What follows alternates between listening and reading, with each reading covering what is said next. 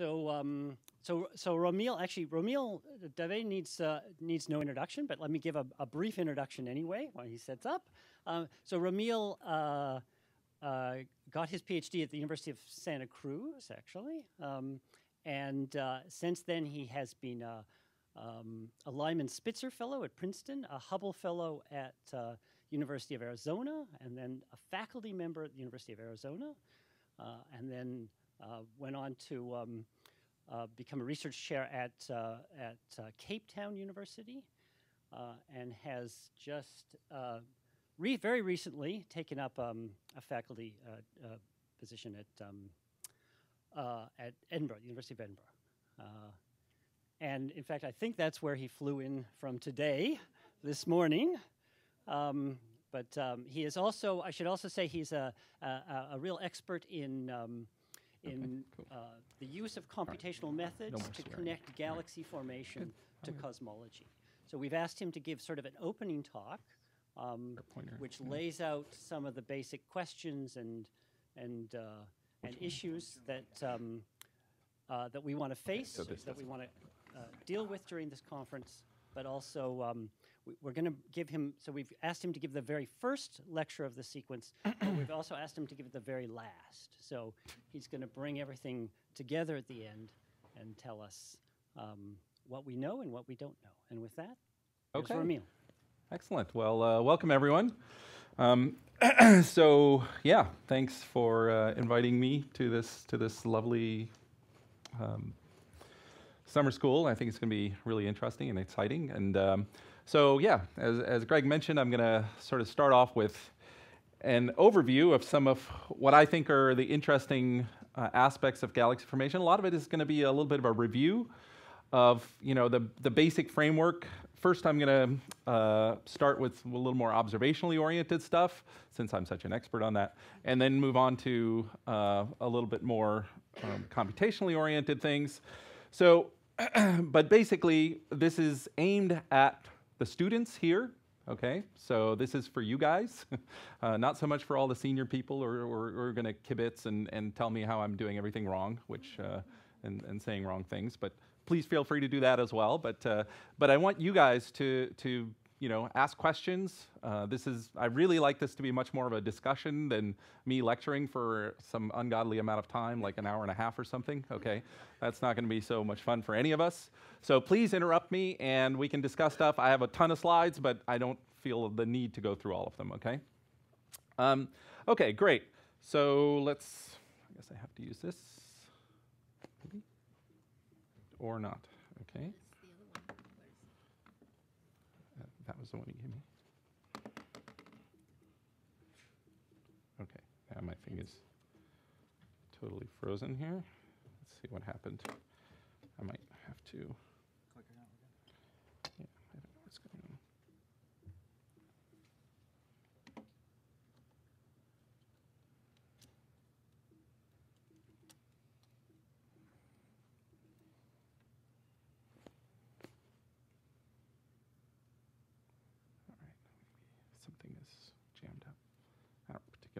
To use the clicker if it's going to be a problem. All right, let's see. Oh yeah, okay, cool. Great, I think, I think we're fine. Okay, cool. Right, so yeah, brief outline of what I'm gonna, what I'm gonna talk about. Uh, just very briefly introducing the problem. I think we're all sort of aware of what galaxy evolution is, but just so we're on the same page of the various things that, that go into the formation and evolution of galaxies. Uh, talk a little bit about the various components of galaxies and, and how, we might, how we go about observing them and what are some of the key things that we as, as modelers have to think about you know, connecting our models to the observations and what, what is going to be the, the key aspects of that.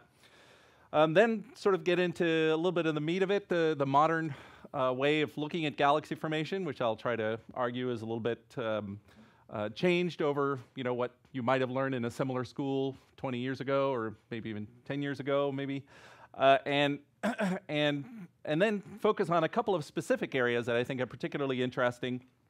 One is uh, the role of, of black holes in galaxy evolution and what we can understand about AGN, uh, and also the circumgalactic medium uh, which I think is one of the most exciting new aspects and one of the frontiers of this sort of uh, galaxy from galaxy evolution studies, both observationally and theoretically, in the coming years.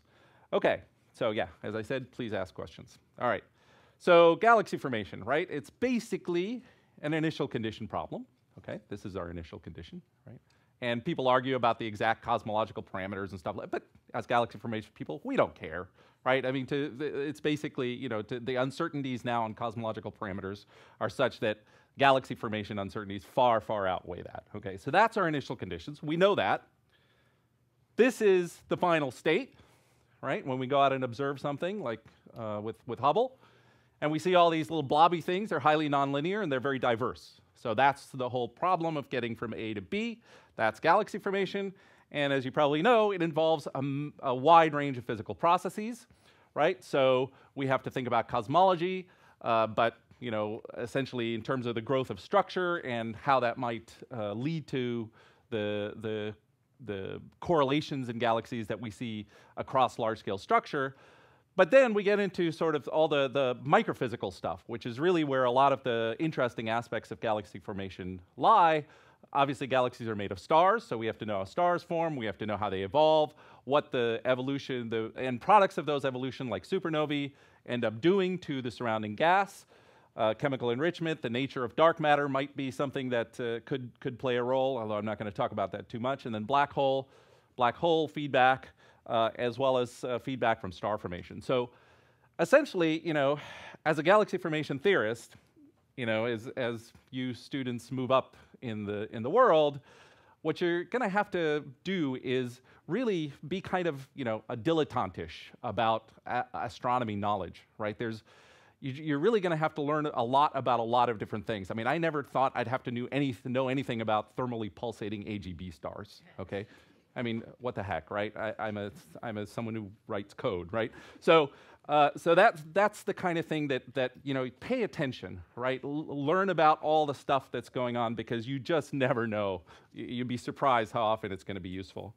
So, you know, we're going to basically try to combine all these elements. And the, and the reason for that, of course, is galaxy formation sits as sort of a nexus, uh, a, a crossroads of many different areas of study right? And I put these arrows in both directions specifically because our understanding of galaxy formation then feeds back on something like cosmology, right? If you want to do precision cosmology, you have to uh, deal with the uncertainties in your galaxy formation uh, to, to learn more about cosmology and so on and so forth, right?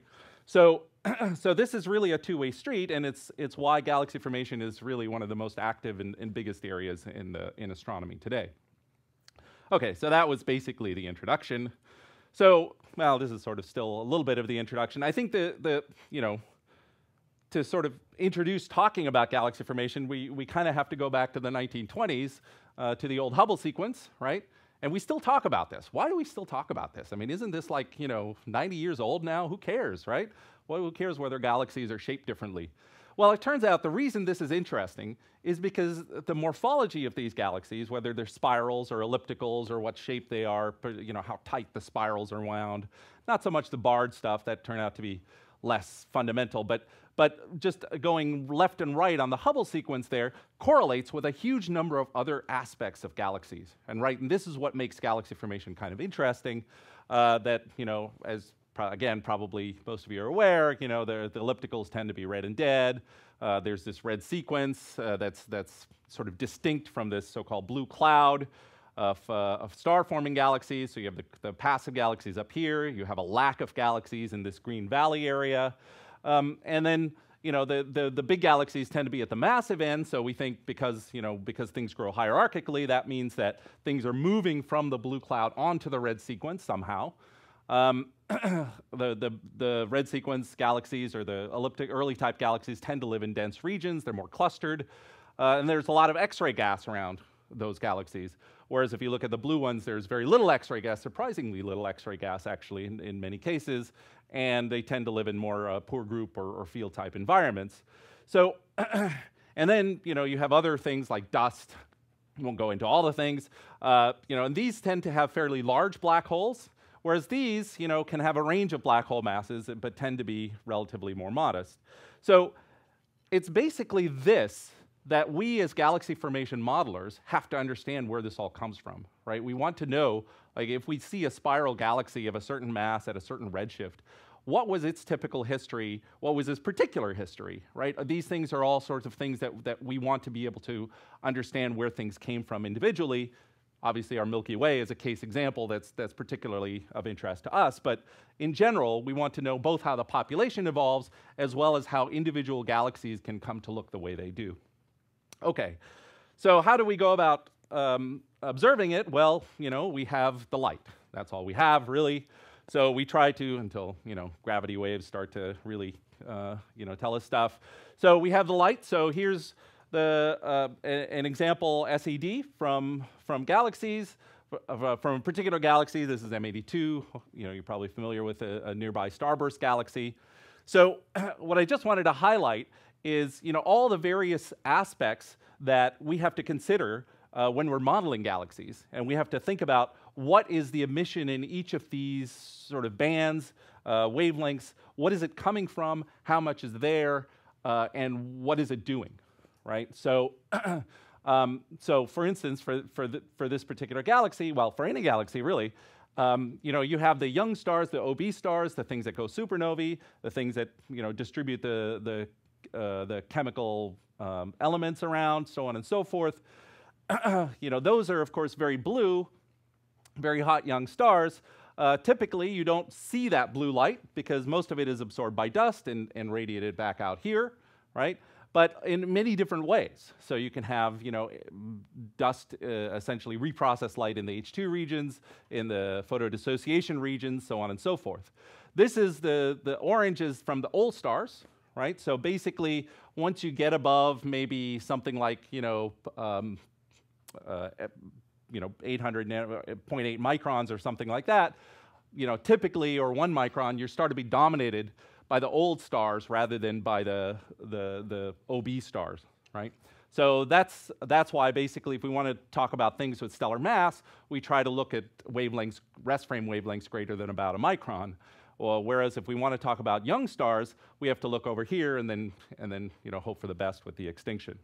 Um, then you can get, of course, these, these dust bumps. And um, so anybody can tell me what these features are? Students only.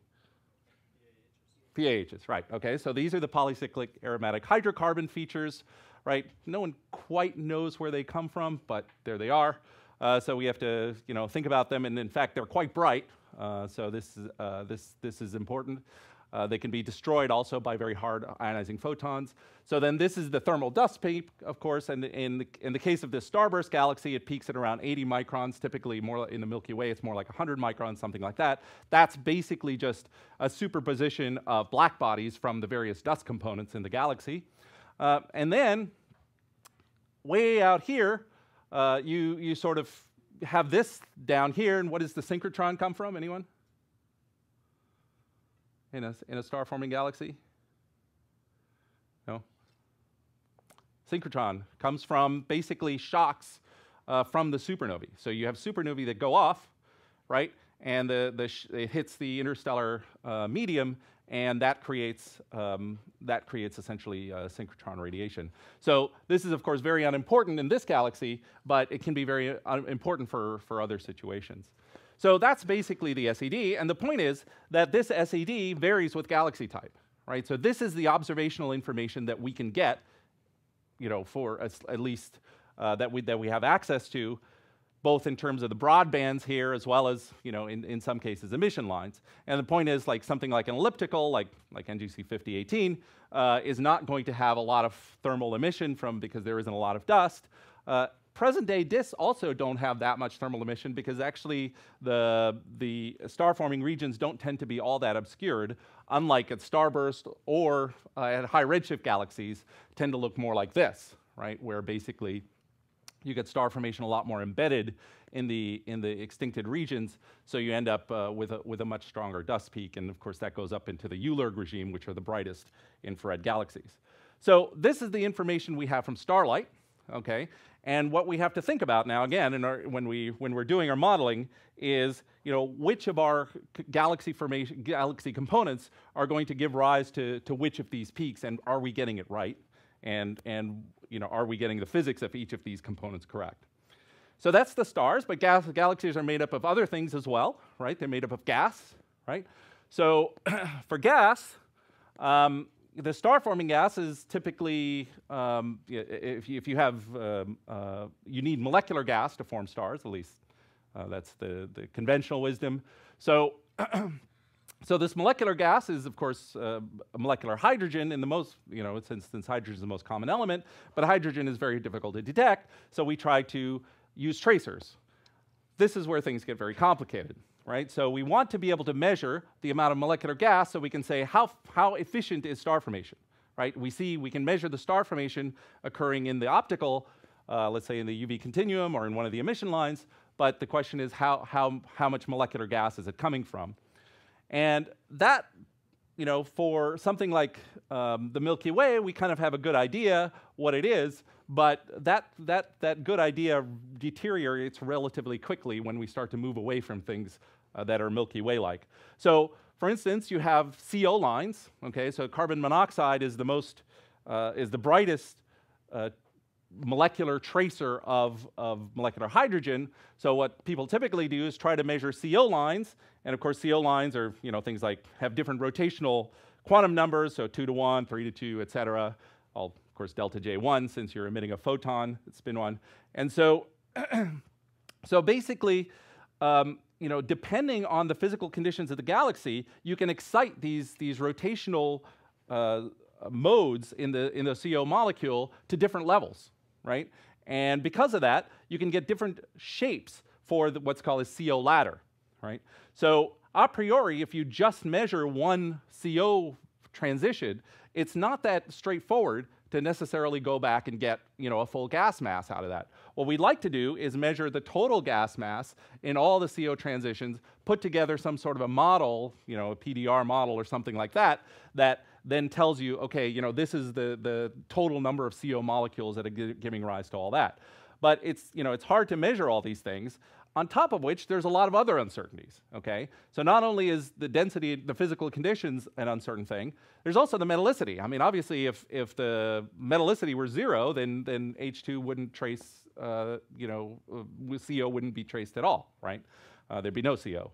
So, so clearly at low metallicity, any sort of you know, proportional relationship between H2 and CO is going to break down. Um, so, but where and how, right? Uh, another issue is that you know these uh, these molecular um, these molecules tend to get formed on dust grains, and so you have to form dust in order to form the molecules, efficiency, so on and so forth. So that's another complication is the metallicity. And finally, you have the radiation field. So one of the things is that um, CO traces H2, but it's not a perfect tracer, right? It's not that exactly the same physical conditions that give rise to H2 also give rise to CO, right? That's not the case. So there are differences, and those differences do depend on what exactly the density, temperature structure, and the ionization structure of that gas is. And so you have to uh, know something about the, your local interstellar radiation field in the regions where the CO is coming from. Uh, and this can be very difficult. This can be really tricky because uh, you know, essentially that's, that's uh, propagation of photons through this clumpy, very you know, uh, uh, complicated interstellar medium. So all of these things basically you know, argue for uh, really trying to, being able to understand the interstellar medium at a very, very high level, right, in order to be able to interpret these sort of diagnostics in a proper way. There are other things besides CO right? So uh, these are less bright, and so they're harder to see particularly far away. But now with ALMA, you know, this is starting to become accessible. So here are some of the, the other transitions that people popularly see, things like HCO plus, HCN, and uh, so on and so forth. The thing to remember about these is that each of these has a particular critical density associated with it. So for instance, uh, if you're looking at you know, HCN 2 to 1, you're, and you see a bunch of it, right? you're looking at gas that's very dense, that has density, you know, of a million uh, atoms per cubic centimeter, right, in, in, in typical uh, conditions. So this is for a, a particular um, metallicity, et cetera. So, so that's, you know, whereas something like, you know, CO tends to be a live a little bit down here, particularly CO1 to 0 tends to live down here. So this is part of the reason why these lines are, are fainter is because there's just less gas living at those very high densities, right? So in principle, the idea is if we can get it, measurements of all these various lines, various CO ladder lines, various of these lines, we can really map out the, the, uh, the PDF, uh, the density distribution within the interstellar medium. And that's, I think, a, a, very powerful way to not only understand how stars form and things, but also to, to you know, help us with our galaxy formation models to understand uh, you know, how the interstellar medium works. Okay, so that's, that's the molecular gas. Uh, there, that's, of course, not the only kind of gas, right? You have other types of gas. You have the ionized gas as well. Uh, so you can trace that in, for instance, Balmer lines like H alpha. Uh, this is, of course, coming from OB radiation that is, that is ionizing their nebula. So that's, uh, these are nebular emission lines. And those, of course, as you might guess, might trace where the star formation actually is. So that's, those two maps are fairly similar. Uh, you can measure the amount of ionized gas pretty straightforwardly. So unlike this, you don't have too, too many issues. You do have to worry a little bit about extinction, but you can uh, typically correct for that. The other aspect, that the other phase of gas that's, that's kind of not accounted for here is the, the neutral gas. And there is a lot of neutral gas in these galaxies, particularly as you get to low mass galaxies, the, the vast majority of the gas is actually neutral. Um, now here, actually, the, the, the challenge is more technological than observational, right?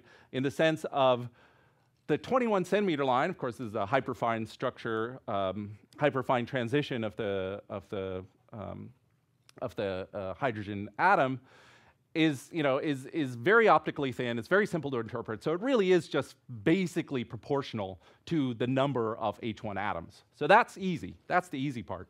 The hard part is that it's really faint right? It's a forbidden transition. Um, and so it gets really hard to observe it, uh, eh, you know, just technically challenging to observe it out to large distances, particularly at high resolution, because 21 centimeter is a very long wavelength, of course, and that means your lambda over d is fairly large. And so uh, if you want to be able to do things like resolved maps, that becomes much more challenging in something like H in, in something like 21 centimeter. Nonetheless, I think this is uh, a really exciting frontier, particularly because of all the new telescopes that are coming online, uh, the SKA and its precursors, as well as you know perhaps something some kind of uh, successor to the VLA. So, um, so I think this is this is going to really open up a new window, and particularly, um, I think there's there's you know, what's, what's particularly interesting about H1 to me is if you look at H1 and, and start to go out, right? So you can, you can start to probe out in, let's say, optical or ultraviolet, and quickly you run out of optical light. Okay, there are just no stars out there once you get too far out of galaxy.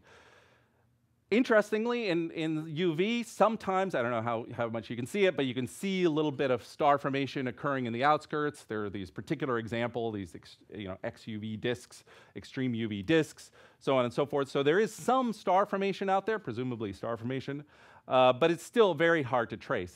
Here's an H1 map, right? And you see this H1 just continues all the way out to, you know, you can get H1 sizes of galaxies, extensive galaxies, easy to, to 80, 100 kiloparsecs, okay, if you look deep enough. So that's pretty remarkable, I think, because now we're sort of, we're no longer talking about gas that's in the galaxy, right? We're talking about gas that's really in the circumgalactic medium. It just happens to be neutral, and typically, at least the kinematics of the few that have been examined, tend to show that they, they tend to be sort of rotating in the same direction as the galaxy. So it's clearly a, a signature, well, not clearly, but potentially a signature of accretion. And one of the things that we'd really like to know, of course, about galaxy formation is how galaxies get their gas. This might be one of our most direct probes that we have of that, of being able to image that process and understand how this, this, uh, this reservoir comes about and where it came from, right? So, so that's, I think, what makes, um, what makes H1 particularly interesting. Um, then there's dust, okay? Uh, we, we talked about this a little bit. I'm just going to show this uh, a slightly different slide here. This comes from a particular model, but just to show where all the various uh, transitions are that people typically look at. Here's the CO transitions out here in the millimeter regime, and then you have some uh, transitions in sort of the, the submillimeter or far infrared regime, really and and yeah, and the various instruments that can that can uh, trace that sort of thing. If you look at the morphology of the dust, right, that's that's another interesting thing. So here's a map of M33 in CO 2 to 1 versus, uh, versus the dust emission. And what you see is that you know, there is some correlation there, but it's very fuzzy, right? The dust is clearly spread out more. Um, and one of the things this tells you is that the dust is essentially uh, you know, a, a, a, something that's tracing star formation, that has to kind of trace star formation over a longer time scale than something like uh, CO or, uh, or something like uh, some, of the, some of the other, uh, like H alpha or something like this. So, um, so I think it's, you know, it's interesting to sort of look at these maps and, and try to understand where these, where these features come from. So, okay, finally, galaxies have black holes, right? And so we have to also figure out where the black holes come from and what they're doing, right? Um, the first thing, step one in that, is to figure out which galaxies have actual active black holes that might be doing something. Um, and that's already a very difficult problem. Um, and there's a number of different ways that, that people try to go about doing that.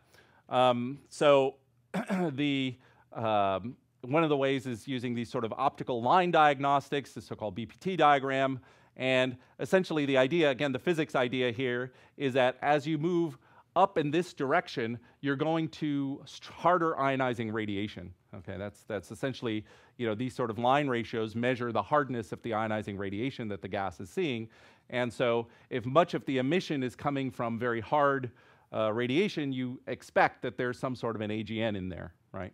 And so that's why essentially this blue stuff, these are Seyfert galaxies, so AGN, um, and then there's you know different ways to divide the star-forming population from the AGN population in such a diagram. Uh, you know, this is sort of more of an empirical thing to really only select star-forming galaxies, whereas this is a more theoretical one from Lisa Kewley uh, that that basically uh, tries to be more conservative on the AGN side, and um, and then there are these LINER things, which are, are, a big mess, very, very confusing. So these are typically things that occur in massive elliptical galaxies uh, that, that essentially are, are you know, uh, not forming a whole lot of stars, but stellar evolution processes themselves at late times can give rise to some hard ionizing radiation, and this can excite the gas up into this regime as well. So Um, so essentially, this is, you know, this is one way. So, you know, you have the optic, when people say optical AGN identification, what they're typically talking about is some sort of a, a, a line diagnostic, and there are various variants on this one. Um, sort of the more traditional way of trying to identify AGN is either in the X-ray or the radio. And again, if you look at an SED, you know, and look at something like a radio galaxy, this is a, a you know, redshift, I think around two radio galaxy. Um, you see that, okay, you have your, your optical stuff and your, uh, your infrared stuff, but then you have, compared to, if you remember, the, the, the previous synchrotron emission was quite low for the star-forming galaxy, here we start to get, uh, get uh, some quite, quite strong synchrotron emission, and what that's actually coming from is not the galaxy itself, but oftentimes these radio lobes. Okay, so you see these, these galaxies blowing out these big radio lobes, and that then uh, creates uh, the, the, the, shocks which lead to the synchrotron uh, radiation, which accelerate the particles. Um, or you have X-rays, right? So that's another thing. You know, black holes are very obviously, you know, very energetic objects, and so they can, in their accretion disk, they can create uh, very energetic uh, photons. So, you know, the problem is, of course, that the X-rays can be absorbed the radios are, the radio emission is quite good, but it's not really coming from the accretion disk itself. The optical emission is good, but it's, you know, it can be very confused. There's a big region where there's some AGN contribution, but lot, some of it is star formation. Um, you know, another thing to point out is that, you know, as you get radio fluxes at 1.4 gigahertz above about 100 uh, microjanskys, you're basically uh, going into the regime of AGN. Below that, you get enough synchrotron uh, that, that, that typically you're actually picking up star-forming galaxies, okay? Um, and so that's, that's kind of a, that's, that's a regime that hasn't been probed yet, but will be probed quite a lot with future radio telescopes. And so I think this is, this is kind of an interesting frontier, even from that point of view. Besides the H1 in the radio, you also have the radio continuum, from star formation and galaxies at, at, at, um, at uh, at low fluxes, low radio fluxes, and that can actually provide a, another sort of dust-free measure of, of, the, of the star formation rate. Okay, so, yeah, yeah. Um, in radio quiet uh, AGN, do you still see that uh, prominent? No, no, you don't. Yeah. So, yeah, so only about 10%, people argue about that number, of the AGN are, are radio loud. Uh, so there, there's actually a, a, fairly small minority of them. Um, so the jets don't always look this prominent. Um, so they're different, you know, they you know, for the last like 30 years before they ever talked to galaxy formation people, the AGN people were just busy creating this incredible taxonomy, like, you know, some like Carolus Linnaeus or something, of, of all these various AGN things that, uh, you know, different types and type ones and type twos and type one whatevers. So, um, you know, then there was this attempt at this unification model. I don't want to talk about it because it's like a whole nother can of worms, and I'm, I'm not sure it's totally right even. Uh, but, you know, uh, yeah, it's, it, it, it, it rapidly um, there, there are many variations, and I think one of the things we do have to understand as, as galaxy formation modelers is what triggers this sort of AGN activity, right? What, what creates suddenly a radio loud AGN? Um, not all the time. Yeah? Uh, how do you separate um, the H1 emission from the synchrotron? So, well, the H1 is a, is a, is a line emission, right? So essentially, it will, it will be, be an actual uh, line feature. Of course, so that, that feature, so in a typical radio telescope, you get a data cube, right? And it's basically frequency to spatial dimensions. And that contains all the information. It contains continuum, contains the line, and so on and so forth. So then you have to go through and look for the lines, right? Uh, the H1 is the, another big benefit of H1 is as soon as you see H1, you know exactly the redshift, right? Uh, so that's that's really good. Uh, the, so H1 is is fantastic in a lot of ways if it weren't so doggone faint, right? If we could just build a, you know, take over half the moon and just carve it out and make a telescope, we'd be we'd be golden. Yeah. So yeah. that, uh, radio quiet AGN don't have those jets? As far as I'm aware, that's that's generally true. I don't know of too many I can't think of any examples of radio quiet AGN that actually have jets. They may have relic sort of features out there, but active jets, no. Yeah. Yeah. Back. So if you have like a um, massive black hole binary, can you still also get these jets? Oh, any black hole accretion disk people here? That uh, that I don't know. Um, so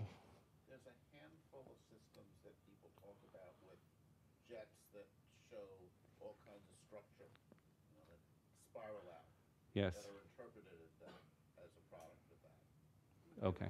Point of view. Oh, um, from a theoretical point of view, the as long as you have an inner disk, you should be able to get a jet. And so if the binary is interacting far enough separated to both have inner disks, yeah. Certainly there are multiple jets coming out of stellar systems. Ah, right.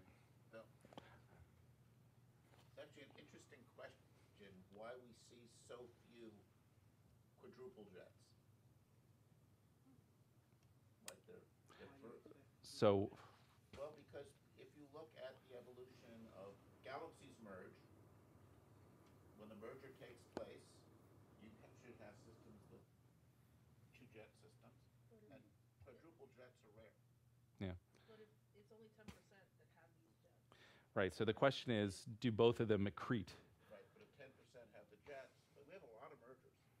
Like most galaxies go through mergers, and quadruple jets are distinctive go through. Section for merger than uh, two single black holes because the binary radius will be the uh, cross section for merger, so they won't stick around very long. Well, no, I think he's talking about when, when during the merger process. When right? there is gas, there has to be gas That's, around I think, the all key. four black holes, and they, yet they have to be far enough right. away from the center that they haven't merged. Right. So, so the idea is, you know, because, so David's point is that, you know, the, the, the mergers of galaxies are very gaseous processes. and therefore the gas can be very quickly funneled in to the middle, and all gets smushed up and viscously, you know, whatever, turned into a, you know, blob. Yes, smushed up. Um, viscously smushed up. Um, but the black holes, right, are, are these giant bowling balls, right? And so they had should take a much longer time to merge in principle, right? And that's, and so the, I think the, my understanding of the explanation of that is that basically one of the objects, uh, the tidal forces are such that they strip off the gas sufficiently that those that second black hole is just never very active uh, at a sufficient rate. But I don't know if that's true or not. It's just it's very small, right? I mean, we can see that. Uh, so empirically, that seems to be true. The, the, the, the only question is whether that is the correct explanation. Uh, yeah. Yeah, I think that's a very interesting question. Okay, any other questions on the observational sort of part? I was going to move on now. Um, okay, so, right. So, our job as modelers, you know, explain that. You know, can your God do this, right? This sort of thing. Um,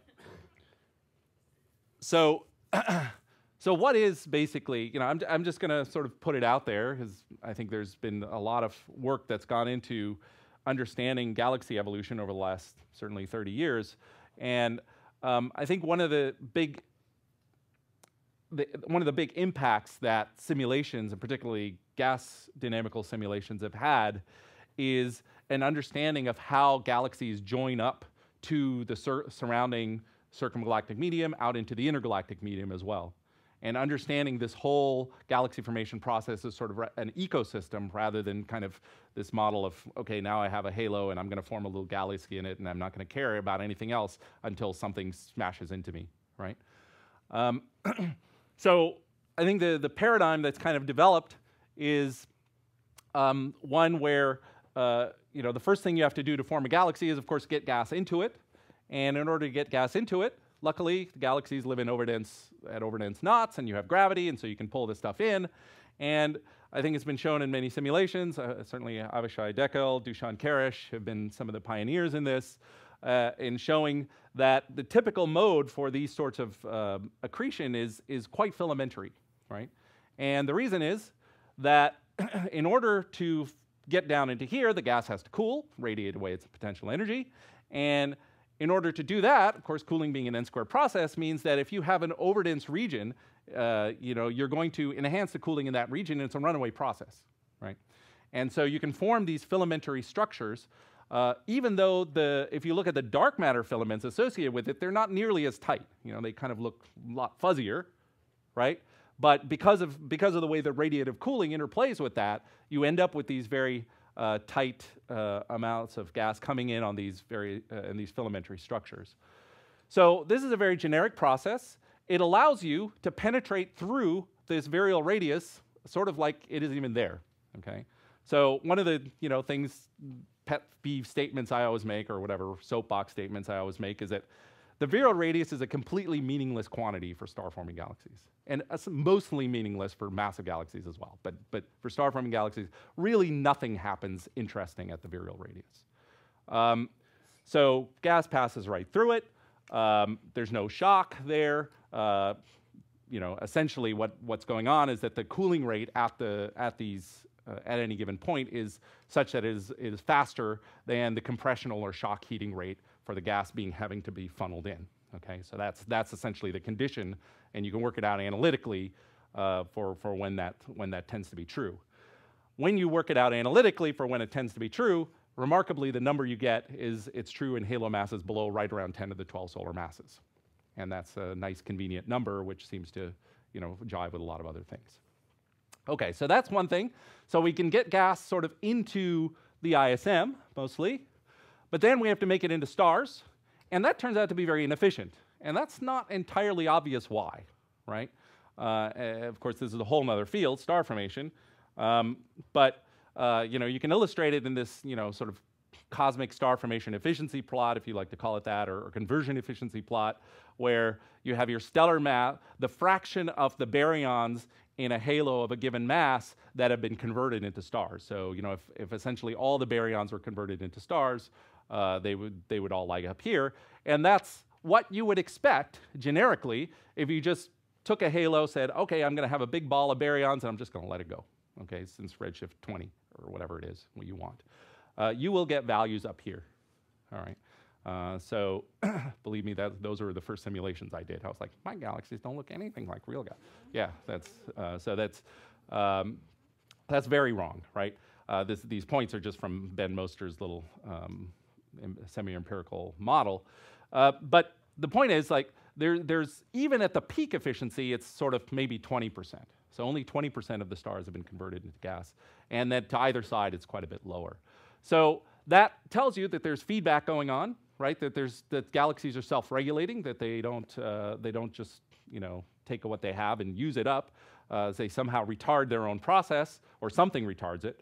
Uh, and at low masses, and the fact that this is sort of a two this has two different, strongly different dependencies, argues for two different mechanisms. And no one has really been able to figure out a single mechanism that can do both of these things, right, at once.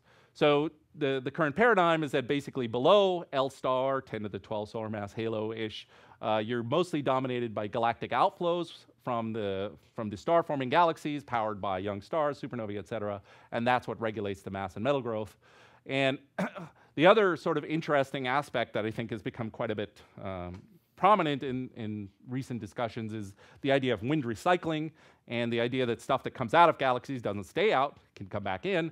And, it, and at least in some simulations, like ones we did a few years ago, uh, that is actually the dominant accretion path for, for, uh, for gas into galaxies at late times, for something like the Milky Way. So it's not stuff that's coming in just fresh from the IGM at all. Um, then, of course, you have the massive galaxy end, right? And that's, uh, that's you know, these black holes either growing along with the galaxies. Uh, I'll show you some data on that in a minute. And then AGN feedback is sort of responsible for this. And why do we think it's AGN feedback? Well, it's basically, you know, the old Sherlock Holmes thing when you've eliminated all the, uh, you know, things that are uh, improbable, then, then whatever's left is, or impossible, then whatever's left is right. And so there's no other energy source, really, in these galaxies. I mean, the Type 1a supernovae are pretty meager. Uh, so the, the only place you can get energy to, to, to do something to suppress star formation here is, is from this. And luckily, there's a lot of energy in that black hole if you can just get it out of it. So, so I think that's, that's kind of the, the basic scenario. And uh, just for terminology, generally this part of the equation, you know, that's operating below here is referred to as the baryon cycle, these inflows and outflows and recycling. And then this part is referred to as quenching, okay? So that's, that's the, when we talk about baryon cycle and quenching, that's kind of what we're referring to. So, you know, no simulation talk would be, well, no modeling talk would be complete without a movie. So here's a FIRE simulation just to give you an illustration of what this looked like. This turns out to be a disk somewhat smaller, a little bit smaller than the Milky Way. Uh, so this set of simulations, you probably know about FIRE, includes, you know, uh, all kinds of uh, stellar feedback, uh, both supernovae, stellar winds. You know, obviously some assumptions are made in this. It's not quite as parameter free as maybe some of them claim, but you know, uh, it uh, but you know, it, it is an interesting model because it does really produce galaxies a lot like we see. So early on, below redshift or above redshift sort of two, you saw it was a very chaotic system, right? There's lots of merging going on, and then there's sort of a transition period, and then after redshift one, things really quiet down a lot, right? Um, so you know, you get maybe a little bit of breathing from the supernovae, but there's not any huge, big, big events anymore like they were like they were at early times. Ooh, that's a nice little uh, fun thing, right? So, uh, uh you know, and then you settle down into a nice disk, and, and this goes for a while. And the point of this, right, is to say that you know what what are the various things that are that are that are giving rise to all this? Now you start to grow a disk, right? A nice thin disk, if you could look at it edge on. and you know, there's, there's basically several things going on. One is, of course, the, the star formation rates are higher at earlier times. You know this from the Madau plot, right? So the, the cosmic star formation rate and the star formation rate of individual galaxies is higher. Um, and this causes more energetic feedback at early times. There's also more merging going on at early times because the universe is smaller and there's just more stuff around to merge with. Okay, so the universe, uh, so there's more merging, and uh, the gas accretion rate is also lower. Okay, and we'll talk about that in just a minute. But that's basically, uh, you know, all of these things sort of conspire to give rise to a very different behavior when you look at a galaxy at redshift 2, even if the same mass, than, than one at redshift 0. Okay, so that's very complicated, and that took like millions of CPU hours and all this sort of craziness, right? Um, can you do uh, any sort of interesting modeling in a fraction of a CPU hour, right? That you can do in your brain. Uh, so let's let's talk about um, essentially modeling galaxies in a very very simplistic way and see how far we can get. But I think that I think that the, the, this is very illustrative because it sort of encapsulates a lot of the ideas and, and sets a good way to think about how galaxy formation works. So the way I like to think about galaxies is that galaxies are gas processing factories. Okay, so you have your little uh, factory here, right? So the factory, right? Okay, so what are you going to do with a factory? Well, a factory needs raw materials, right? You're going to make something out of this, right? So the raw materials are coming in from the intergalactic medium. And the good news is, thanks to CDM and Lambda CDM or whatever, we know what this is to reasonable accuracy, not great actually, but, but reasonable accuracy, at least out at something like the virial radius. So we know how much material is falling in, uh, baryonic material. The problem is, of course, you know, it's a supply chain. There's always, you know, somebody who has to take a bribe and something falls off the truck or whatever. And you only get some fraction of that actually coming into the galaxy, right? So let's just call that zeta for now right? So you have this sort of zeta parameter, and that corresponds to uh, effectively what you can think of as preventive feedback. So, you know, what was prevented that was accreted onto the, you know, far away, let's say at the virial radius or whatever far radius you want to pick, uh, versus what actually made it into the reservoir of the galaxy to be eligible for star formation, right? So let's call that zeta. Okay, now you got to make a, make a product with that. Well, obviously galaxies make stars, right? So you, you, have, you have a bunch of stars that get made. But it's a, you know, with any galaxy, you have some waste product. So you have the waste product that's going to be ejected out of it. And the ratio between the, the rate of formation of stars and, well, the, the ejection process versus the rate of formation of stars is typically denoted eta. Uh, this is called this mass loading factor. And so uh, that's going to be the ratio there. But of course, we live in the 21st century and we need environmentally friendly factories. So we have to recapture some of that waste, right? Uh, so we have this, this term, which basically is what fraction of, or, or on what time scale, if you want to think of it that way, does the material that's, that's ejected eventually come back into the galaxy, right? So in this little very simple scenario, I can essentially write down mass balance. And if I write down mass balance, I can figure out what is this term? What is the rate of formation of the stars, right? And that turns out to be this, which is, again, you just fairly straightforward to see. It's the, the term coming in from this, the term coming in from that, divided by 1 plus eta. All right? Very simple. Um, turns out you can also do the metallicity. So if you say that there's, uh, if you form some stars, uh, you have to enrich this. This is the unenriched component, right? This component came out of the galaxy, so it's already enriched, so you don't need to worry about the, the enrichment of that. But if you, if you enrich just this component, um, with some metals that, you know, every time you form star, uh, uh, some stars, you, you enrich with some yield Y, uh, then that's the metallicity as well. Okay, so these are our parameters, right? There's, there's zeta, there's eta, which is ejective feedback, so preventive feedback, ejective feedback, and something to do with wind recycling, however we want to parameterize this. Let's say um, recently people have been talking about this recycling time. So I like to call these baryon cycling parameters because this is essentially what baryon cycling is, is, is doing, right? Okay, so um, that was a little bit glib, right? Because there was an important term that I forgot. Uh, I, I, didn't just forget it, I actually intentionally ignored it, which is this reservoir term. So you can imagine that stuff comes in, it never makes it, it just piles up on the loading dock, right? It never makes it to actually into the factory. Um, the interesting things about, thing about this is, you know, we looked into this back in 2008, and other people have looked into it as well, is that this term evolves, it's not zero, but it evolves much more slowly compared to these other terms, to the point where it's, you know, it's a decent approximation to neglect. Okay? So if you neglect that term, then you get these equations. Uh, you can also write down the gas fraction. This is essentially just rewriting the definition of the gas fraction. And then you can get your m dot from gravity, the, from the IGM, just based on CDM and some fitting functions. Okay, so you have a bunch of parameters, you know. This is an incredibly simple model, right? Does it have any hope of working at all? Well, we tried, we thought, oh, well, why not try it, right? Just, uh, what the heck. Um, let's put our three parameters, uh, create a amplitude, a, a, mass dependence, and a redshift dependence. So that's three parameters for each. So that's nine total parameters, right?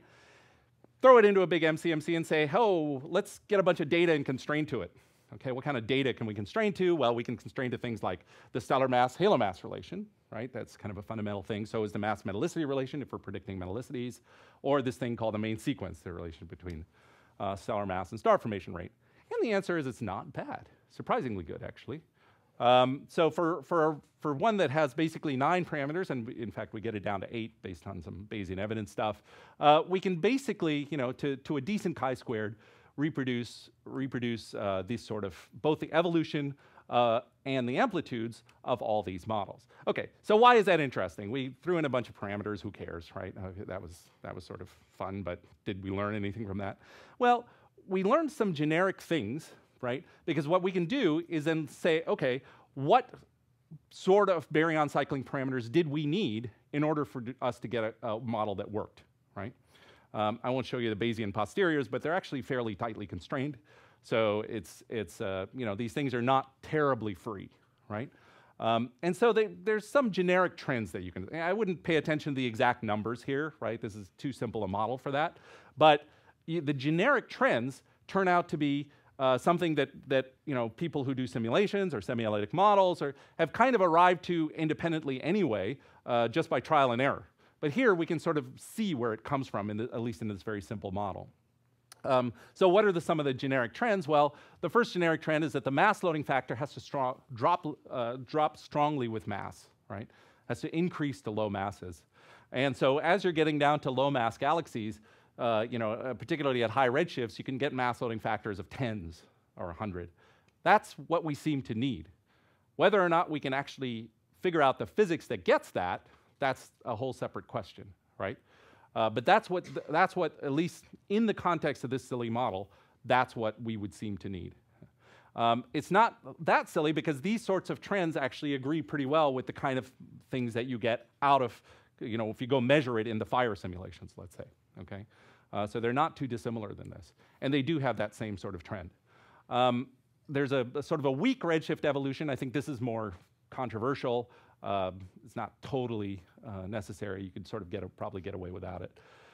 But the other thing is, of course, that we have to uh, have strong preventive feedback at the massive galaxies. And you can see this sort of feature that we introduce by introducing a quenching mass scale above which we no longer allow galaxies to accrete uh, as part of our preventive feedback. And, and so that again tells you that, that, you know, just simple star formation, you know, one of the things you could think about is saying, well, you know, as you get bigger enough halo, big enough halos, you will have uh, sufficiently long cooling times that, you know, they, the gas just won't cool, period, right? And, and that's the trend you, start to see here. You start to see more and more shock heating as you get above 10 to the 12 solar mass in the halo mass because the cooling rate at the virial radius is no longer fast enough like it was before, right? Um, so you start to see that trend, but this is, th there has to be a break here. There has to be an additional uh, thing, okay? And it's very difficult to, to work things without it. Um, the other thing is to look at the recycling time, right? Just sort of get an order of magnitude ballpark estimate of what this is. This is in gigayears, right? So in gigayears, basically has a relatively some dependence on mass, but and, and, and redshift, but basically it's up order a gigayear or so, right? And it's and it's smaller in high mass galaxies. So high mass things tend to tend to recycle faster. Okay. You might expect this again on physical grounds simply because you know high mass galaxies are more massive. They're able to hold on to their uh, you know have larger potential wells. So most current galaxy formation models, you know, again, not using this thing, but basically have arrived at similar scalings, or at least qualitatively similar scalings, from completely independent uh, considerations, right?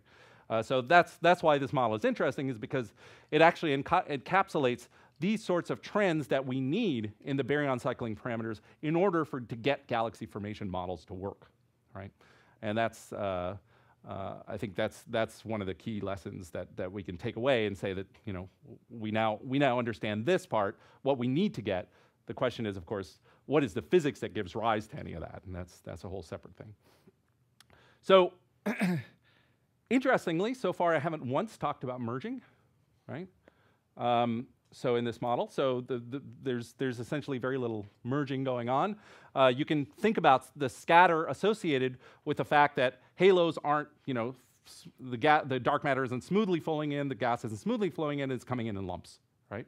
And if you do that, I won't go into all of this, this detail here, but let me just uh, skip over that part. But basically, you can get, uh, you, can, you can show that essentially the, the uh, the, the, inflow fluctuations lead to a scatter around these sort of the scaling relations I was talking about, the stellar mass, halo mass, the mass metallicity, so on and so forth, right? Uh, and so this is the example of the, the scatter around this, around the main sequence, the star formation rate stellar mass relation, uh, from directly from inflow fluctuations in our particular, in this simple model, versus what's, what's actually been observed. And of course, you know, uh, many of these contain observational errors, so they're sort of, uh, ours should be below that. Um, okay, uh, gas fractions, I just wanted to mention sort of gas fractions. What what are the gas fractions doing, right? So, okay, we, are, we said that the gas reservoir is slowly evolving. Can we make more quantitative predictions for this, right? Because we can now observe gas out in galaxies to, to fairly high redshift. And the answer is yes, but we have to invoke one more piece of information. And that is how fast is the gas getting consumed once it comes into the reservoir? So, you know, what's the production line speed, right? Luckily, that seems to be relatively well um, constrained, at least locally, that uh, if you look at the, the, uh, the star formation rate of, of, let's say, disk galaxies today, you convert typically maybe a couple percent of your gas mass into stars within a dynamical time. Okay, that's, that's kind of a variant of the Kennicutt-Schmidt relation. So if your dynamical time in a simple disk model, uh, you know, is like Mo, Mao and White or something like that, scales with the Hubble time, then this is basically the inverse of the Hubble time, which at high redshift would be something like 1 plus e to the 1.5. So the gas consumption then, that's the rate at which you can consume the gas. Well, how fast is the gas getting supplied? Well, the gas getting supplied from the intergalactic medium, that inflow, if you remember that power, is something like 2 to 2.5, somewhere in that range, right? So this power is higher than this power. If that power is higher than that power, means you go to sufficiently high redshift, you're going to be dumping gas onto that galaxy so fast, it's not going to be able to keep up. Right? You can calculate what that redshift is, again, within context of you know, some assumptions, and uh, I won't go into exactly how this is derived, but basically you get values of around you know, something like 4 to 6, depending on exactly the mass and so on and so forth. So once you get into the high redshift regime, you would expect that galaxies can't keep up with, with forming stars. If, the big assumption, this still holds, right? If it's still converting only 2% of its mass into stars in a dynamical time. If it's faster, then, then of course it can reach equilibrium earlier. Um, okay, so there's this initial gas accumulation phase, but then after that, right, you can get uh, you, you, you can just compute what the gas fraction is based on the depletion time, which I got this scaling from simulations, but is you know, reasonably consistent with data. Uh, and then this is the evolution of the specific star formation rate, where beta is just the power of the specific star formation rate versus stellar mass. And you, you end up with, with this type of, um, which typically something like minus 0.2 or something like this. Uh, so you end up with something like that. And this is about what's observed okay? So essentially, uh, if you look at a Milky Way galaxy today, right, uh, your gas fraction is about 10%. At redshift 2, you know, the, the power here is about 1, so the, red at redshift 2, it should be about 30%, and that's, that's typically what you see for something of the same size. So, so essentially, this, this, this slowly evolving gas reservoir just reflects this, this competition between the inflow that's dumping stuff onto the loading dock versus how fast you can take it off and form it into stars or eject it into an outflow. Mm-hmm. No, that's uh, yeah, that's a tilde one. You mean more or less? Yeah, more or less one. Uh, so the problem is that this only 1.5 only holds at high redshift. When you get to lower redshift, the lambda creates doesn't create make that, that makes it closer to 1 plus z.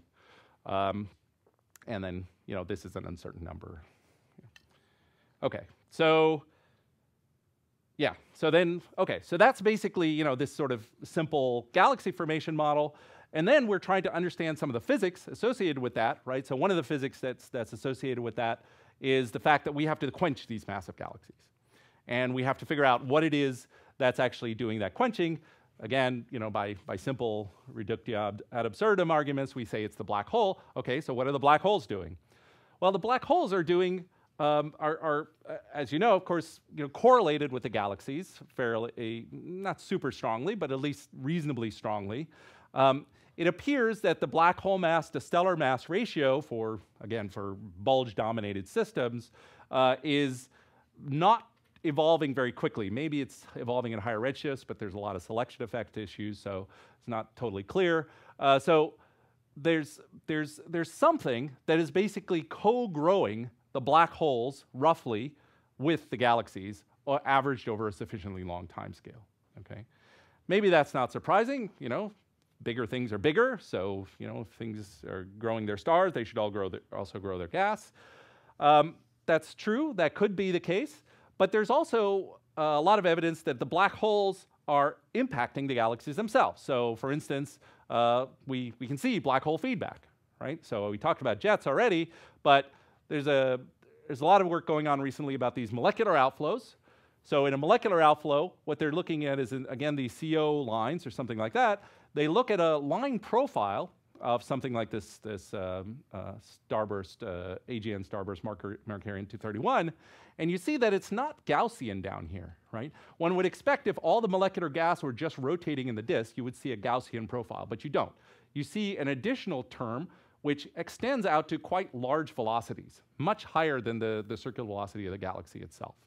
Um, and this has been interpreted, this is commonly interpreted these days now as, as molecular outflows. So these are outflows that are being generated by the starburst, either the AGN or the, the star formation. Um, they're extended. They actually, if you add up the kinetic energy, because you can measure the mass in this term, now that you sort of know it, and make some assumptions, of course, about how to convert CO to, to H2, which is very uncertain, but you know, if, you, if it's a few hundred solar masses per year, you're talking about kinetic powers that are you know, a few percent of the AGN, a few percent of m dot c squared. So it's very large with large momentum rates, okay? Uh, so it's mass loading a lot of stuff as it's going out. So this, you know, you can say, okay, this little black hole here is dumping a huge amount of energy out here, and that's going to, you know, slow the cooling, so on and so forth. Um, but this is a way to actually just get rid of the gas altogether. I mean, you don't have to do this for very long, you know, 10 to the 10 million years, and you got rid of 10 to the 10 solar mass of gas, right? So that's a, uh, so that's, you know, uh, that's potentially another feedback way uh, of doing things. Okay, um, I think, eh, you know, I think I'll, I'll go through this very quickly, but I think it's, you know, sort of the, the overall picture, I think, that has, that has been coming together from uh, various things as of maybe five or you know five-ish or ten years ago is that you know you start out with a disk, you merge them together, you form a ULIRG, then you have sort of a blowout phase, uh, which results in a, a, a, a, sort of a naked quasar, and then you decay into a, post-starburst galaxy, which eventually ends up into a red and dead elliptical. So this is one scenario for how to quench galaxies right? This is sort of a, a, what you might call a rapid quenching mode associated with this blowout phase, which we might be catching as these molecular outflows, right? Is this the way all galaxies quench, right? Do all galaxies, all massive ellipticals go through this phase? And I think the answer is almost certainly no, certainly today, right? And the reason is very simple, actually, uh, when you start to think in a cosmological context. So the problem is the early simulations were done sort of isolated things, and the great thing about an isolated simulation, you smash two things together, nothing else happens to it. It's totally isolated, no further infall or anything like that. It just sits there, right? Uh, so you can, you know, you, you might get the wrong idea about what's going on compared to having continual cosmological infall. And so, um, you know, many semi-analytic models looked into this. We sort of simply confirmed it basically with, with hydro simulations that if um, that that you know I think Darren Croton's was a, was a, was the first one to sort of you know, talk about this and, and uh, coin the frame radio mode at least, that if you just have this hot halo that forms for some reason at the virial temperature, and you allow that hot halo to just stay hot, somehow prevent cooling in anything, you can really get most of the pr- properties of red sequence galaxies just fine, right? Without ever having to invoke any kind of a blowout or merger associated thing. Um, and so that's, that's what we confirmed. I won't go into all the details of it, but basically the, the, the punchline uh, from our simulations was that you know, hot gas and massive halos drives both mass and environment quenching. So what are those two quenchings we're talking about here? Well, if you plot the overdensity versus the stellar mass and populate this plot with, from a galaxy survey for what fraction of galaxies are red, defined in some way, right? What you find is that things that are either very dense at any mass or very massive at any density are always red, okay? So these things tend to be satellite galaxies. These things, of course, are very massive central galaxies. Both of them seem to get quenched in this, in this sort of um, uh, um, and so I think one of the one of the things, one of the, the questions was, well, is the satellite quenching due to satellite-specific processes like you know tidal stripping or ram pressure stripping, et cetera, whereas this is something completely different. Um, it turns out, at least in, in some hydro simulations, you can ba basically get it all from the idea that essentially the radio mode feedback idea that if you just keep it, the, the hot gas hot, you will, uh, you will produce a red population as you see. So that, I, you know, so that that's sort of the counterpoint of it. There are counterpoints at the other direction. For instance, post-starburst galaxies seem to have a very short star formation uh, quenching timescale. You can actually track the, the, the, star formation history over the last several hundred years, and it seems to have like truncated very quickly. Maybe you can't do that in this sort of simple slow quenching mode. So what fraction is in this mode versus what fraction is in sort of the fast quenching mode, I think is, is a pretty interesting question that's still sort of open. Um, okay, any, any sort of questions on that? All right. So I wanted to just spend the last couple of minutes um, talking about the CGM. All right, I think this is uh, I think super exciting stuff. So here's the basic idea. The problem is that we think that all this baryon cycle stuff is what's really governing galaxies and blah blah blah. Uh, great. So let's go out and observe it, right? Okay, great. What, let's observe some inflows and observe some outflows, right? Ugh, really hard. So we can do maybe these molecular outflows in these very bright few rare cases.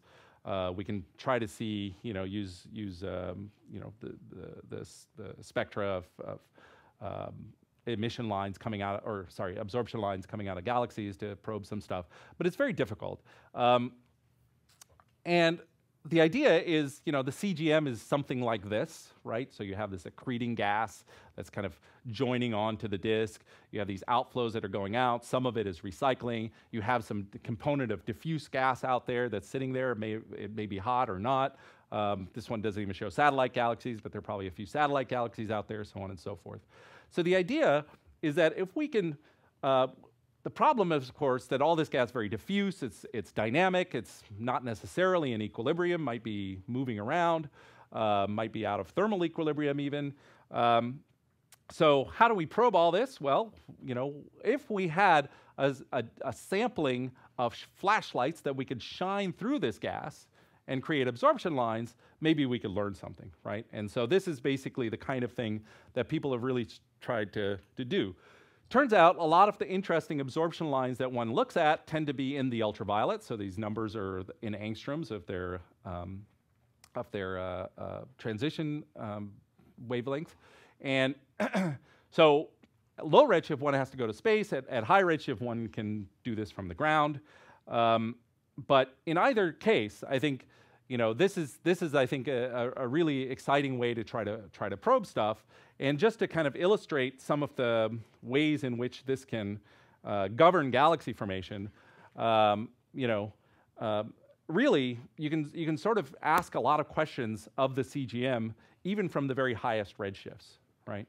So this is something that, that um, uh, Kristian Finlator has been working on with, uh, with some radiative transfer galaxy formation simulations to explore very high redshifts, so epoch of reionization type things, where now, thanks to infrared spectrographs, those, those UV emission li- UV absorption lines are now redshifted into the infrared, but you can actually get absorption line measures of things like carbon 2 and carbon 4, also silicon 4. And what you can try to do is try to then say that, okay, you know, you have these sort of background quasars, they're probing through these galaxies, they're seeing these absorption lines. What does that tell us? Like, what is the meaning of that, right? And this is where simulations can be very powerful because, in principle, if you're doing everything correctly, which of course we know we aren't, but you know, hey, uh, do our best. We can, you know, we can, we can, we can answer that question directly from the simulations, right? And so, um, so this is the kind of thing we do. Is you know we can we can shoot absorption lines through these simulations and uh, try to compare to the data and try to ask the question: What are these what are these uh, stars doing? So you know, I, again. Uh, one of the one of the important things about early star formation is that it puts metals into the CGM, and those metals then impact the subsequent generation stars because they're no longer metal free and they have a different IMF, et cetera, et cetera, right? So, you know, how do we go about measuring that IMF? This, you know, the CGM might actually be one way to do that, right? Uh, looking at line ratios of some of these uh, uh, things as the data gets better. Um, again, the, the, the, ioniza- the photoionization from the CGM is suppressing growth in these photosensitive halos. So again, you have uh, you have uh, UV light coming out of these first galaxies, and that can actually impact the surrounding galaxies. And this may be, for instance, where Milky Way dwarf elliptical come from, right? So, uh, so then again connects to sort of near field cosmology type stuff. Uh, and then, you know, also 21 centimeter emission. So as the galaxies grow, right, you now uh, enter a regime sort of, you know, getting, getting close to cosmic noon, as they call it, where you see outflows all the time. So at Redshift 2, you know, Chuck Steidel has made a living out of this, of basically uh, finding, you know, galaxies, getting, getting spectra, and showing that they have very blue shifted absorption lines out to you know, 800,000 kilometers per second at, at most. And these things are obviously outflows, and from these outflows, uh, essentially one can deduce that basically every star forming galaxy at this epoch is putting out pretty massive outflows. Okay. The interesting thing comes when you want to say, okay, well, that's taking galaxy and going right down the line of sight, but can we take a galaxy and figure out what's going on in the CGM of that galaxy? Well, that's pretty hard because there aren't that many background quasars. They don't happen to be in the right place. But you can use other galaxies, right, if the other galaxies are bright enough. At the moment, they're not really bright enough with 8 and 10 meter telescopes, so he has to stack. So this is what Chuck did in a very famous 2010 paper, is he took galaxy absorption in galaxy spectra um, and correlated with the foreground galaxy, and ba- basically was able to measure, for instance, the equivalent width profile of these various ions. So again, this is directly probing some combination of metallicity, ionization conditions, and density. You know, those are the three things which set how much carbon is in carbon 2 versus carbon 4 or whatever uh, as a function of radius out to these, these galaxies, out to these, these sort of virial radii type things. Um, I think that's, that's something this is, you know, people ask me, you know, what do you think is going to be the biggest thing from 30 meter class telescopes, right? What's going to be the most exciting science from 30 meter class telescopes? I think it's going to be this. We're not, we're not going to have to do this with stacking anymore. Okay, when we have factor of 10 more area, we just do this on a galaxy by galaxy basis, right? Uh, and that is going to be incredibly powerful, I think. So that's sort of uh, one uh, area that, that I think is, is quite exciting. The other thing that's happening in this epoch is, of course, the first AGN and the first quench galaxies are appearing. And here's a real argument for you know, why this fast quenching mode might come about, because we see uh, red galaxies uh, at already at redshift two and a half, three. Okay, so you know, is there enough time for something like you know a slow, quiet, quiet, you know, uh, slow quenching to, to actually work? And I, I, suspect not, right? So it may be that the, the nature of quenching is quite different at those epochs than it is today. Um, we already talked about cold filaments. Uh, yeah, we talked a little bit about settling and trying to understand, you know, how the, the inflow from the CGM is actually uh, changing as a function of time. And then we get to the present day, and I think one thing I haven't talked about much, but I think is particularly interesting, are these X-ray halos. So um, that's, of course, another form of CGM that's been studied for quite some time, which is uh, X rays, diffuse X rays in things like galaxy groups. So, this is a galaxy group, uh, and the, the purple is, is the Chandra X ray emission. And uh, you know, not a lot is happening here, but as you get really deep data, you start to see, I mean, even in this relatively modest sized group, you see these sort of bubbles out here, you see the structure, so on and so forth, right? So clearly things have been happening in this intra-group medium, right? And now one thing is could be, you know, infalling satellites or infalling groups or something, but the other thing is it could be coming out of here. And when you see stuff like this, it sure looks like it might be some double lobe thing that's, that's coming out of the galaxy, right? So is that the, the smoking gun, right, for this sort of AGN feedback that we need to, to quench galaxies? And can we understand the X-ray properties? We know that you know, shock heating creates these X-rays, but if all this energy is being dumped into these galaxies from the black hole as well due to these jets, surely there's some signature there, right, in something. And can we create a model that self-consistently produces not only the overall X-ray properties just from the shock heating, but also from the from these uh, uh, the additional contribution from the jets in a particular way. So I think okay, so I'm, I'm pretty much out of time, so I'll, I'll, I'll stop. But um, hopefully this is kind of a, you know, a little bit of a core dump. Uh, so uh, sorry about that, but, but it's kind of, I think, hopefully getting you excited about all the different things that are going on and how they all connect to each other. And I think that's the real thing to sort of try to take away from, particularly from a place like this, where you're going to be for you know interacting with lots of people doing a lot of different things. Uh, that you know maybe there are connections there that you haven't thought about, and it's it's worth thinking about. Uh, because I think that's where some of the really interesting progress comes from is when you know the black hole people uh, stop doing taxonomy and start doing you know talking to the galaxy formation people, and the galaxy formation people tr- stop treating black holes as if they're you know some weird thing that we don't have to care about.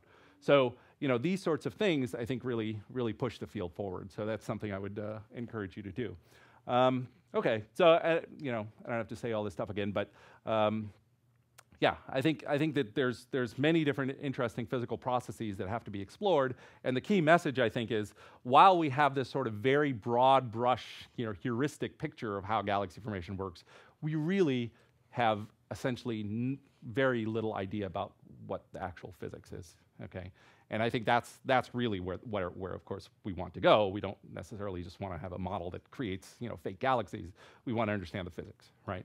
Uh, so that's that's I think where where I think uh, you know that that a lot of the work has been going, and particularly you know towards small scales, understanding both the interstellar medium as well as understanding black hole accretion processes, and and understanding the, the creation of those types of uh, uh, feedback and uh, associated feedback. So. Uh, so that's, I think, where, where, the, where the field is really headed, is trying to break through some of these small scale barriers and, and try to work towards a deeper understanding of what is the actual origin of these, uh, of all these, all this sort of outflows and inflows and all that. Thanks.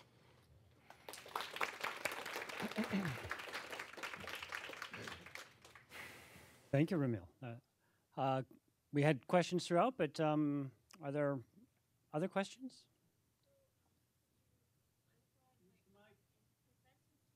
Uh, yeah, if you can push the button.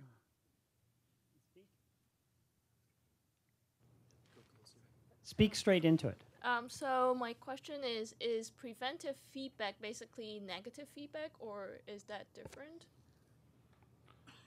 Um, yes, I think that is the lingo, right?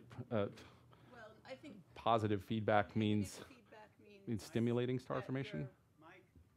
Negative feedback usually means that you're preventing star formation, Yeah. you're making star formation less Right. efficient. But Exactly. I mean, there's ejective versus preventative, both of which are negative feedback. Both are negative, right? But ejective means you blow the gas Exactly. out to prevent stars from forming, whereas preventative means you prevent the gas from coming in in the first place and thereby reduce star formation. I think you invented Uh, no, Neil did. Well, he, he invented velvet rope feedback versus uh, bouncer feedback. So the bouncer feedback kicks you out, whereas the velvet rope feedback prevents you from getting in the club. Well, in principle, there is also a third possibility that you have the gas, Yeah. which is comes in but doesn't form a star because maybe it's ionized or something. Well, that's right. So that's that's another type of preventive feedback, which, uh, yeah, uh, exactly. Uh, so, so preventive feedback can be in a lot of different places. There's certainly a lot of preventive feedback going on in the ISM, right? Because that's why star formation is so eff- inefficient. Uh, so, so we know that happens, and we don't totally understand how that happens, and that could, as you say, be quite different under different physical conditions. Other questions?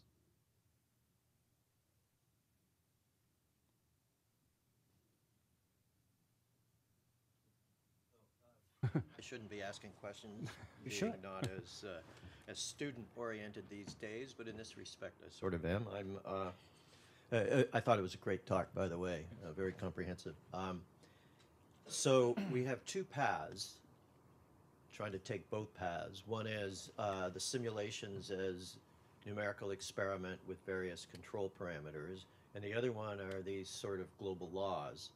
Uh, and the global law ideas have sort of grown with extra parameters over time. And ultimately, one hopes that there will be get, get to be an interesting convergence of the two approaches where you've encapsulated the essence of the simulations. Um, part of that is to adequately deal with all of the fluctuations that occur around any sort of mean properties you might get from looking at an ensemble. So um, if you were forced, as I'm trying to force you to, looking downstream five years or so, where do you see all of that going? And do you see that we will actually have a fairly adequate uh, um, model in which you could just sort of lay the results down on n-body simulations as opposed to requiring uh, the full up hydro? I hope. I certainly hope so. I, th- I think you know. I mean, I, think- I, I mean, the SAMs have already made a huge amount of progress towards this. But one of the things that's a great point you brought you brought up because, um, you know, I think one of the futures of these sort of scaling relation ideas, right, is not the scaling relation themselves, but the scatter around the scaling relation. And actually, that's kind of where the interesting physics ends up being, right? Um, so, yeah, so you know things like the fundamental metallicity relation, you know that, that thing at a given mass, the star-forming galaxies tend to lie at lower metallicity. Um, you know, you can you can have similar uh, similar things for the gas fraction and so on and so forth. And again, I think that what these what these highlight is this idea that you know we call our little simple model an equilibrium model. Why do we call it that? Because galaxies like to live at an equilibrium that is on these scaling relations. So any deviation, when you kick a galaxy off, the physics conspires to put them back on, right? And that's why these scaling relations like mass metallicity are so tight, right? So if you go off from here, you accrete a bunch of low metallicity gas. You, you, you don't gain in stellar mass, but you lower in metallicity and you gain in gas content, which also boosts your star formation rate, right? So that's, that's how something like the fundamental metallicity relation might emerge from this sort of fluctuating inflow paradigm. Um, so yeah, so I, I completely agree that the, the, the interesting questions now, I think, uh, to, for the models, for these simple models, is to see if we can get recover these, right? Because if we can recover those and really understand where those come from, now not only are we populating our n-body simulations, you know, just with the mean relations, but we're we're populating them way in a, in a way that that encapsulates the scatter and its dependence on whatever environment, you know, immediate accretion rate, et cetera. Can I just do a quick follow-up on that? Mhm. Um, the point, uh, the, the point is, um, i- is an excellent one. So, um, uh, I like this idea that there are attractors and that you are f- essentially going back with relative perturbations into the attractor basins. And then the issue is how many attractor uh, minima there are, and uh, do you kick over? I mean, it presents a really interesting forward theoretical vision for the subject if it can be proved. Uh, do you think that that's probably going to emerge? Well, I think Rachel is better suited to Well, answer hey, that Rachel, to me, right? I think mean, I think? I think the semi-analytic models are certainly getting there, right? Uh, that they can they can certainly uh, predict these things in a fairly sophisticated way. Well, I'm, I'm thinking sort of a Langevin type approach where you fluctuate around and you Yeah. sort of have this guide, which is Yes. scaling, and then you can fluctuate, but you can fluctuate over into another minimum if the fluctuations sort of build coherently enough. Is, is that That's- part of the emerging picture, Rachel? Um, to some level, I don't know of any Has obvious. it been formulated in any way like that? I mean, the problem with this, the problem with this is that, you know, when we look at something like the mass metallicity relation, we don't see a second branch anywhere, Ah, right? okay. Um, we see a large scatter. What's what's that?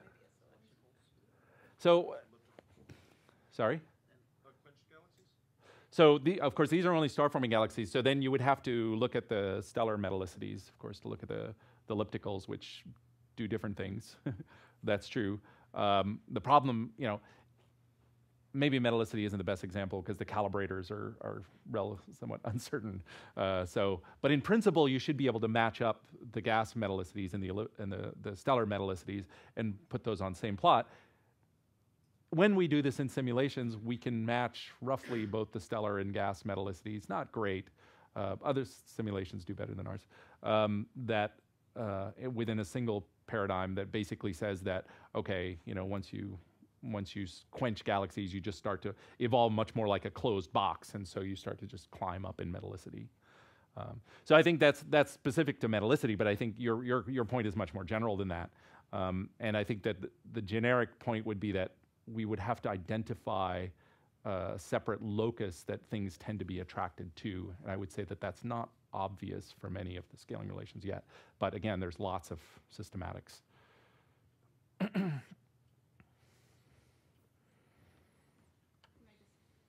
Just to follow up on on Dick's question, I think an example of what you're talking about is we think that galaxies grow along this star form, so-called star-forming main sequence. The name, the whole name, is sort of meant to represent that this is something fundamental. Of course, some people don't like that name, but you know the galaxies grow in mass and star formation. And I think one of the puzzles is whether that is driven by cosmological conditions. Is it driven by accretion rates from large scales, or is it driven by the physics of star formation on small scales? And I think you know that's something we're still trying to work out is the interplay between the large scales and the small scales. That's sort of an overarching theme of actually the structure of this whole meeting um, that you might notice if you look at, at who the lecturers are. So that's not an accident.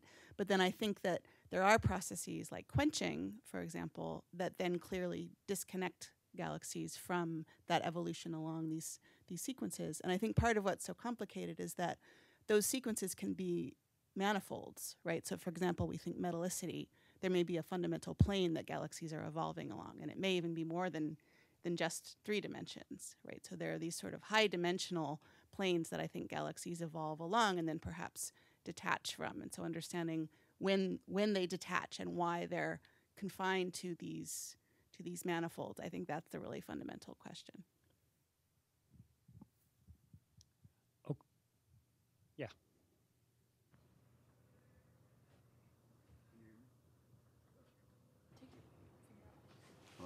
Should work. So I was just thinking, um, if you think of some manifold and it has some, I think the idea is like the star forming main sequence is the attractor. Here, you need some dissip, for some attractor to happen, you need some dissipative process for it to work. What is that in this context? Just So, right, I, th- I think the you don't necessarily need a dissipative process. What you need is a process that forgets its previous condition, in the sense of. So, in the context of galaxies, you know, you can think about, um, you know, why why do things evolve back towards, let's say, mass metallicity or stellar mass, gas mass fraction, and the and the answer is when you sort of look, is that it evolves back on a time scale corresponding to you know growing by twice in its mass, right? So effectively, once it sort of forgot about its previous perturbation, right, by accreting a whole bunch more, that new accretion occurs in a way that puts it back onto the relation, and that kind of helps it go back, right? So it's the stochastic averaging essentially. In fact, you know, people have talked about this as an origin for the the, the main sequence, um, uh, but it's, I mean, you can explain it mathematically that way. That that essentially there's an attractor solution, and basically, uh, you know, your stochasticity will tend to average things out, and you'll get a, sorry. It's a stable point. it's a stable point. That's right. And so, uh, but that doesn't, of course, tell you the physics, which is the more interesting aspect of it. But yeah, so I think the dissipation here, if you want to think about it, a dissipative term, I guess, is just uh, the continued growth of the galaxy in a way that is decoupled from its previous evolution, right? Um, so you end up just averaging. Okay, so I think um, we've gotten to uh, a break. Uh, so let's uh, thank Romeel again. Uh, and we'll take a half hour break, so we'll be back here at 11.30.